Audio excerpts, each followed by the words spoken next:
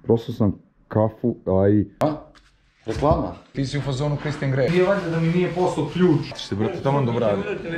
Jao, fa...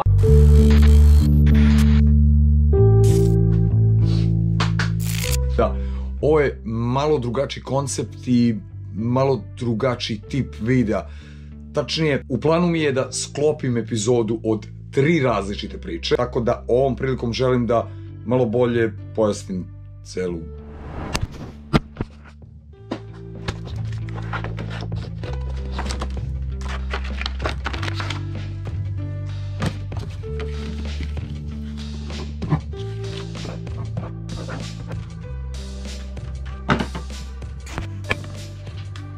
Skate VF 750 ili šta se zapravo desilo sa Hondom.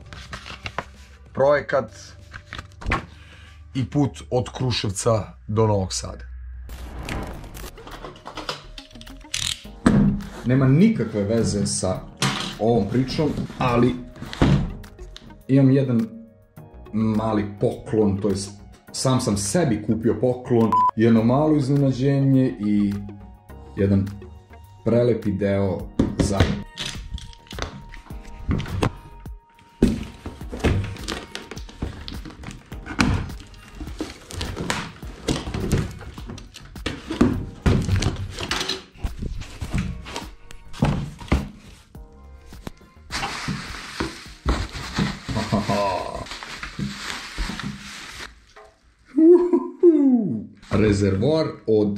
Harley Davidson Sportstera za Hondu VT.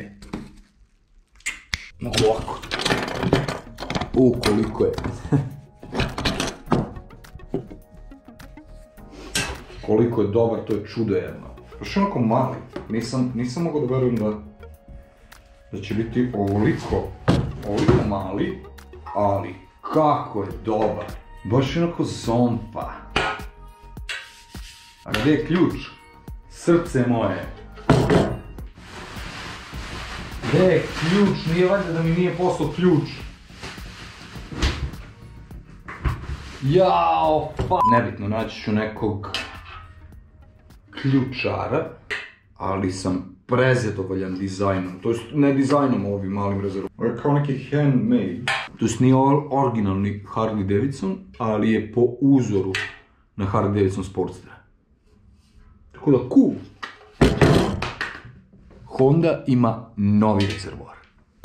E sad, e, pre nego što krenem sa svakom pričom pojedinačno, želim da kažem kako sam došao na ideju da snimam više priča ili više tema u jedno. Kao prvo, postoje neki projekti koji se rade više dana. U toku, u toku jedne nedelje desi mi se više različitih stvari. Nije baš sve to nedovoljno materijala za jednu priču. Onda sam došao na ideju da sve te moje situacije spakujem u jedno. Ovu kratku epizodu od 20-30 minuta iz više različitih priča. Ne znam, nekako ovo je test prve epizode.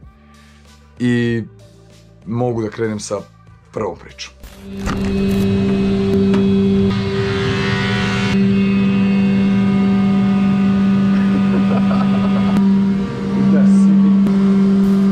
Ja mogu ovdje da snimam. Što brate, vam dobro radi. Farbao sam ga u sivo, kao što vidiš, nije mi se, nije mi se svidelo, jer mi je boja daske mnogo lepša, a to što će da me pale copyright zbog ove... Samo...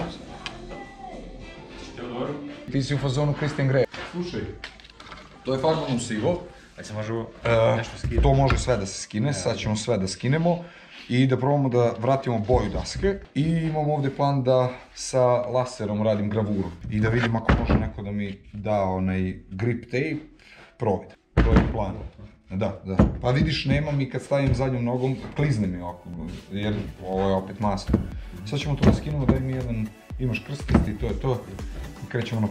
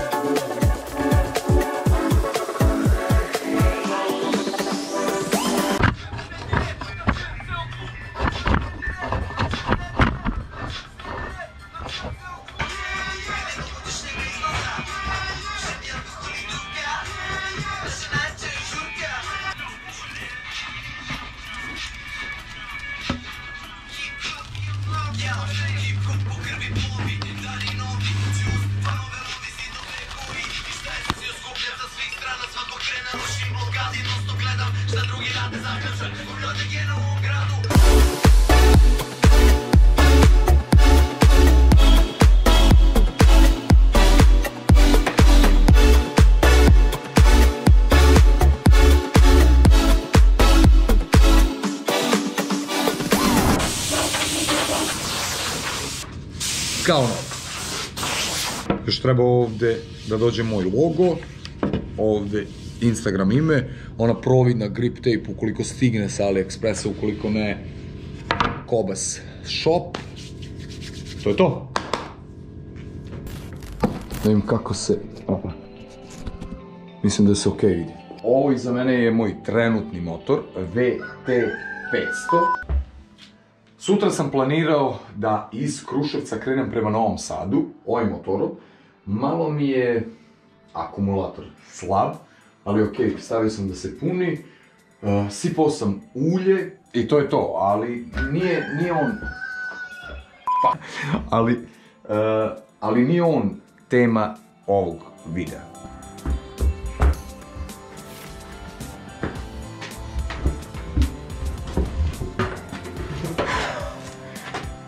Želim da pričam o mom starom motoru, Cafe Raceru VF 750 Hondi, koja je prošla 11.000, prešla celu Evropu zajedno sa mnom i sada trenutno je u ovakvom stanju. To jest puno prašine. Da, i ako nisam napomenuo, ja sam u svojoj garaži u Čitluku, tako da imam pozadinski. I sad mogu da kažem par reči na često, po meni malo ne toliko zanimljivo pitanje, šta je sa Honda? Kao što dosta često i kažem, ništa, jer ovaj motor radi, samo jednostavno stoji. Već kada sam bio, kada sam bio u Aziji, 8 meseci je stajao, nakon toga sam se vratio, upalio sam ga jednom, vozio sam ga nešto malo i kratko i nakon toga opet nekih 6 meseci on samo stoji. Što je i meni najviše žao i baš mi je krivo što nema mogućnosti da to jest ima mogućnosti da se radi registracija, to je jako zeznut ceo taj proces zbog novog zakona o tehničkom pregledu i ispravnosti vozila, tehničkoj ispravnosti vozila i atestiranju ovakvih kostimiziranih ili modifikovanih motora. Tako da imam dosta problema oko toga, o tome sam pričao više puta. Fuck. Prosto sam kafu, a i letnulo mi je GoPro. Da, i to je od... Da, i to je još jedan razlog zbog čega sam kupio GoPro 8, a prodao GoPro Max. Jer da je Max ovako letnuo, sad bi najverovatnije imao jedno sočivo manje. Se vratim na celu priču oko ovog motora i kakva je trenutna situacija. Po novom zakonu ja snimio sam taj video na ovu temu što se tiče tehničkog pregleda, novog zakona o prepravci e, motora, atestu, svim onim glupostima, papirima koji su potrebni. To sklanjam na stranu. Sad pričam zašto ovaj motor ovde stoji. Da bih uradio registraciju ovog motora, prvo regularno radim svo testiranje, svo to papirologiju i mogućnost da dobijem taj atest za tehničku ispravnost ovog motora. Drugi način, koji je dosta lakši, da vratim plastike i tako da slikaju za tehnički pregled i onda da opet ga vratim u ovakvo stanje kako jeste i tako da ga vozim. Što meni nije okay, ni prvi ni drugi. Prvi način mi nije okay zbog toga što je to mukotrpan proces, dosta para, tako da je neisplativ, a drugi način mi nije okej zbog toga što, je, što ja samim tim na neki način kršim zakon i onda ne bih voleo da vozim motor koji nije takav ili jeste takav. Plus mi je potreban motor koji ima dva sedišta i koji je dosta udobni, to je VT, jer imam u planu neka duže putovanja i stvarno neuporedivo je lakše putovati ovakvim motorom nego Cafe Racerom. Da, drugi, još jedan razlog, još jedan razlog je i registracija i potrošnja. Ova je V2, 500 kubika, ova je V4, 750, 6, 7 do 8 litara, 4, 4 i po maksimum. Registracija 9000, registracija 18.000. Registracija sa novom tablicom, novom saobraćajom, svim novim, 13.000 maksimalno. Registracija za ovaj sa novom saobraćajom, ja mislim oko 23 do 24.000 maksimalno. Otprilike 200, 100. Da, i kad sam posle svih tih razloga sredit ću VT, jer imam u planu sređivanje ovog motora, a VF sam stavio na prodaju. Teška srca, ali jednostavno nemam nameru da vraćam ponovo na fabriku, nemam nameru da ga registrujem, e, stoji ovde kod mene u čitluku, nema nikakvu funkciju, samo da, pa su to neki od razloga zašto VF i ne mojom voljom, nije mi baš ni to primarno, ja nekako potajno i ne želim da ga prodam, možda i da, možda te pare uh, budem bacio na novi motor, jednostavno, jako mi je žao da trune, da stoji bez veze, a sa druge strane, jako mi je žao i ako ode. Iskreno, najviše bih voleo da da mi stoji u studiju. To je onako baš iskreno. Više mi nekako, ne znam ni ja, nešto, nešto sam razmišljao i da stoji u nekom kafiću, isto bi bilo jako cool. Onako, samo da stoji, kao da, da, da to bude. Ovu priču bih završio tako što želim još jednom da probam da ga startujem i to je to. I onda se vraćam VT-u.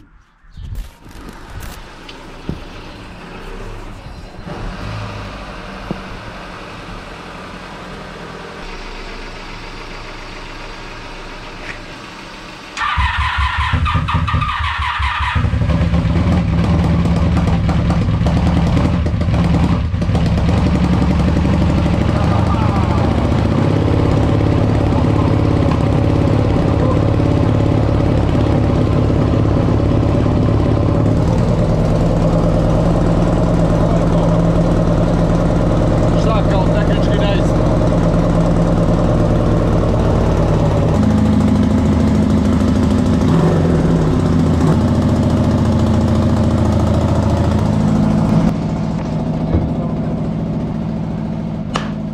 Kraj ovog dela priče.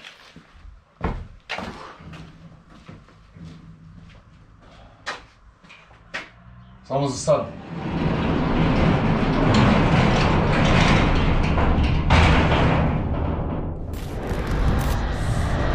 Uh. 11 i 20 minuta, 2. mart. Evo polako krenuo sam iz Kruševca za Novi Sad. Pun rezervoar, spakao sam stvari i krećem. Imam otprilike 300 i nešto kilometra. Ako vozim u proseku 100 km sad za 3, ki, za 3 sata bih trebao da budem u Novom Sadu.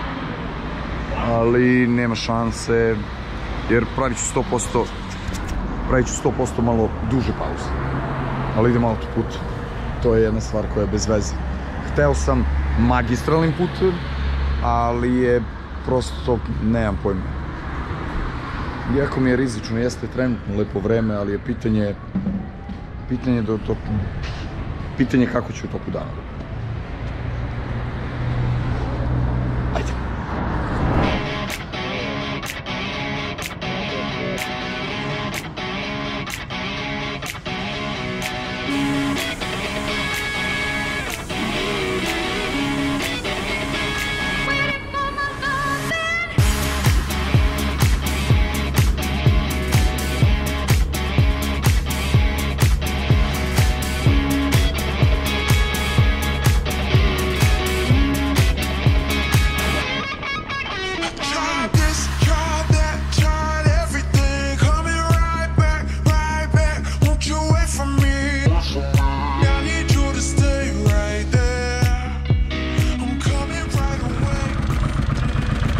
Stoti put moram da kažem da je ovo najseljački izduv od svih seljačkih izduva. Evo što sam rekao. Svaki put. Svaki put sjebe pamet.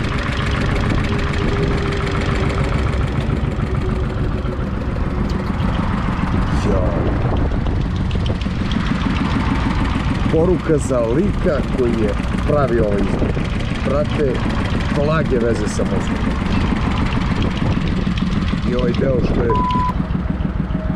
Evo me u BG-u, pravim malo pauzu sa kafu, pa... Idem dalje. 95.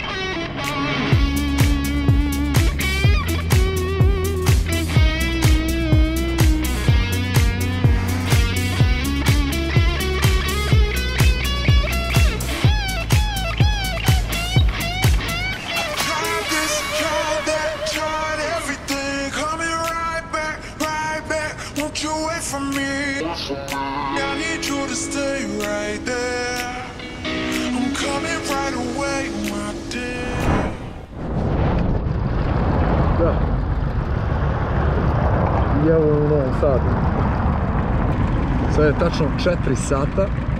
Otprilike sam putovao 5 sati.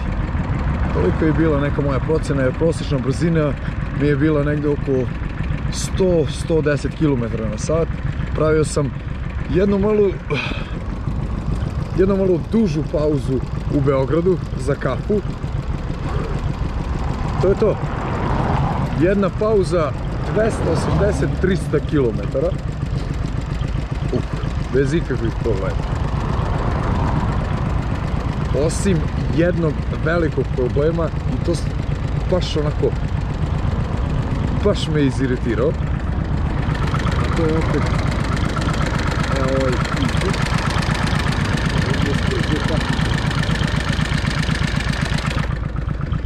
izduv koji mi je spržio patik baš onako jedva čekam da krenem da, da, da radim ovo. Jer ovo trenutno situacija kakva jeste je katastrofa. Ništa. Palim na, palim na kafu pa